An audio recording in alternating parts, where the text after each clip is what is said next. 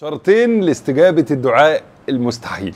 السلام عليكم ورحمة الله وبركاته. حبايب قلبي أهلا بكم. والقصة اللي هكلمكم عنها النهاردة هي قصة شخصية. في الحقيقة هي ما حصلتش معايا أنا ولكنها حصلت مع ابني عبد الله. عبد الله ابني راجل ماله هدومه في خمسة ابتدائي وطالع ستة ابتدائي. وهو من عادته إن درجاته كويسة والحمد لله. ولكن السنة دي طلعت النتيجة بنشوفها لقينا درجة استغفر الله العظيم يا رب. المهم أنا وأمه ابتدينا نتكلم ليه الدرجة دي حصلت ليه عبد الله درجاته نزلت. يمكن طريقة الامتحان يمكن ظروف السنة. المهم قعدنا نتناقش في كل حاجة وقلنا خلاص إحنا هنسبورت ابننا وهنقول له يا ابني إحنا بنحبك ووراك وإحنا بنقدرك وانت زي الفل سواء جبت درجات أو لا وهنساعدك بإذن الله انك في اللي جاي تجيب درجة أفضل وترجع لمستواك اللي كنت عليه طول عمرك. المهم في وسط كل ده عبد الله كان مصمم إنه يستحق درجة أفضل من دي، وأنا أمه خلاص يا حبيبي وهدي أعصابك واللي حصل حصل والنتيجة طلعت. عبد الله سابه مننا خالص وابتدى يتوجه لربنا، ابتدى يتعلق بدعوة إنه يقول يا رب درجتي تتصلح وتبقى كويسة. يا رب درجتي تتصلح وتبقى كويسة. امه تقعد تقول له يا ابني هون على نفسك وخلاص الدرجة طلعت والنتيجة وشفناها. يعني إزاي الدرجة تتصلح وتبقى كويسة يعني؟ ولكن في يوم من الأيام أمه تبقى قاعدة على group ال mums والحاجات الجميلة دي وتلاقي مبعوث إنه يا جماعة تكريم الأوائل يوم كذا.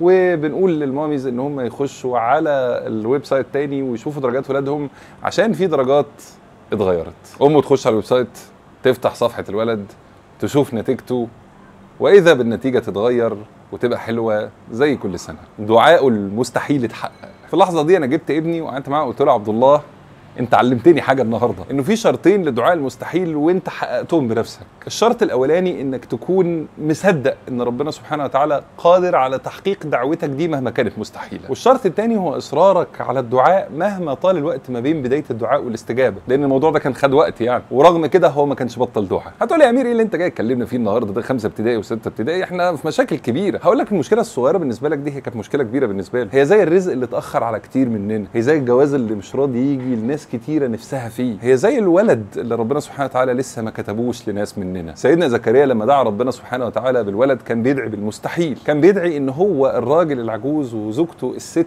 الكبيرة اللي أصلا عاقر. يبقى عندهم ولد. ولكن عند ربنا سبحانه وتعالى ما فيش مستحيل ربنا يستجيب ليه ولما سيدنا زكريا يتعجب من قدرة ربنا سبحانه وتعالى يا رب أنت قادر يا رب سبحانك. فتيجي الآية اللي لازم كلنا نفهمها كويس قوي قال كذلك قال ربك هو علي هين. يا جماعة ادعوا ربنا بالمستحيل. المستحيل عند ربنا أبسط من البسيط.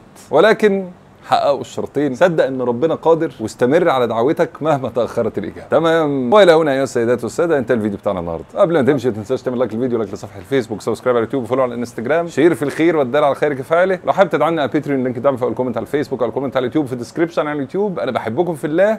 أشوفكم بكرة بإذن الله. تابعوا هاشتاج الساعة 7 تلاقي كل الفيديوهات. وكان معكم أمير منير. والسلام عليكم ورحمة الله وبركاته.